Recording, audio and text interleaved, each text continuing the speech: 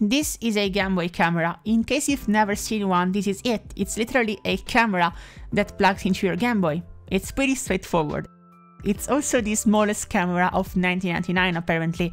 It shoots 128 per 112 black and white pictures using its really really small sensor and it has a memory of 30 photos. Now this is pretty limited and it's a pain to shoot photos with because you need to get the perfect lighting and the perfect contrast but I love it for this reason. Its limitations are really interesting as an artistic challenge, putting you in a really difficult situation to get just the right shot.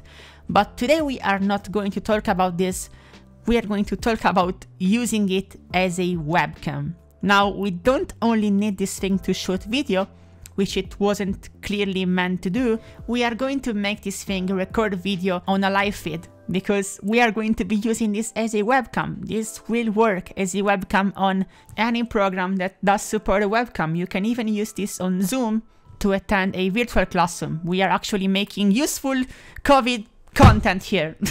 and to do this, I have a plan, a really bodgy plan, but that's what makes it fun.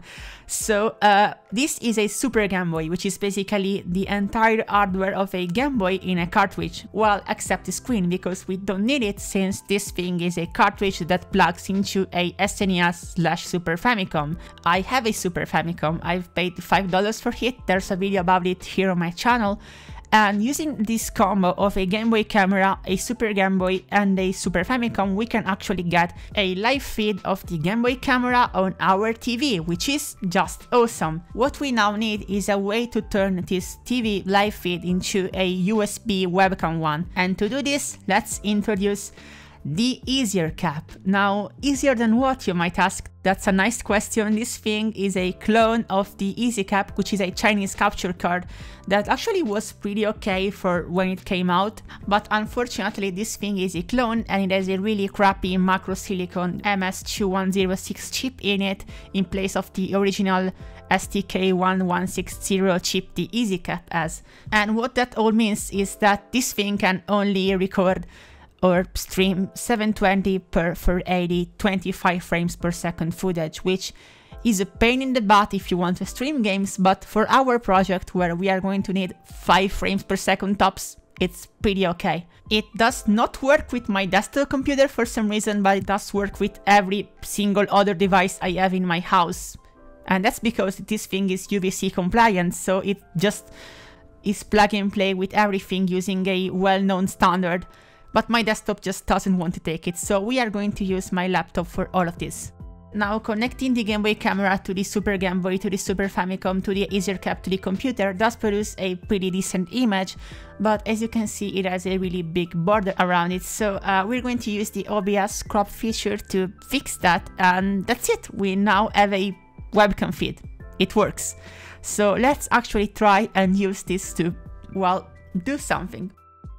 Okay, so we have our Super Famicom here with our Game Boy camera plugged in and it's sitting on a box because I didn't, I couldn't really get a tripod for this and so I needed to incline it to actually, you know, shoot me.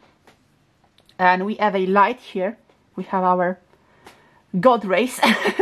All of this is plugged into my computer via a RCA cable, which is here that goes into our easier cap capture card which is here let me show you with a better light okay so we have this we also have plugged in a controller to our computer since we are going to test it using a emulator and we're going to play Super Mario Bros. So that's me here. So yeah, let's actually try and test this.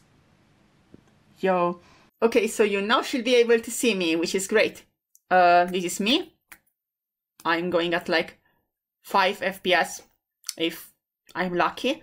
But yeah, we're gonna play some Super Mario Brothers and test this thing on actual gameplay territory. So I've plugged in my um, controller here to my laptop and we're gonna play a game like a Twitch streamer will do. I don't know how many Twitch streamers do play Super Mario Brothers.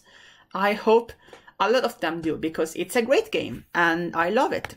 I've played this a lot when I was like a kid because um, I grew up with Famiclones and Famiclones have this game in basically every possible version, even just completely random ones. but yeah, uh, let, let's see how this works. Also, I'm sorry if my sound is crappy, but uh, my laptop only has two USB ports and I had to decide whether to plug in a controller or a microphone and I decided to do the the first one since um, I mean crappy audio actually goes with this setup because we got a crappy webcam and if I had a really good sounding audio uh, that would ruin the experience. You need that crappy 1999 experience you know that Guinness World Record smallest camera ever experience so yeah um, let's actually try and do the minus world glitch I will fail instantly probably, but I'm I'm gonna use save states and cheat in that case because I'm using an emulator and I'm an adult. So I can cheat responsibly and do this um, without uh, feeling bad. okay, um, let's actually go here to the end of the level. But for now the camera seems to work fine. It's it's working okay. My lighting isn't the best, but it's it's working even with this lighting, which is great. That's all I wanted from this. Um, okay, so let's actually save the game because I don't want to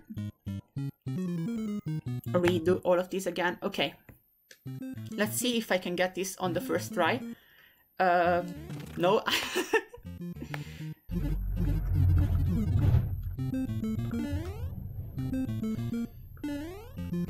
Okay, okay. I did this. Okay. Okay.